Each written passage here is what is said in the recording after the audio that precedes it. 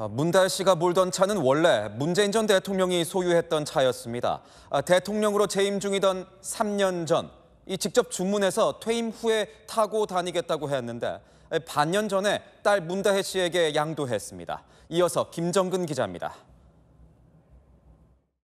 문달 씨가 어제 새벽 술을 마신 채 운전한 차량은 경차 캐스퍼였습니다. 지난 4월 아버지인 문재인 전 대통령에게서 소유권을 넘겨받았습니다. 문 전 대통령은 3년 전 이 차량을 구입했습니다.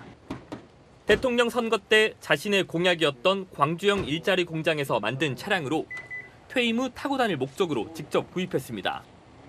문 전 대통령은 당시 청와대 경내에서 이 차량의 내장 비닐도 직접 뜯고 차량에 대한 설명도 들었습니다.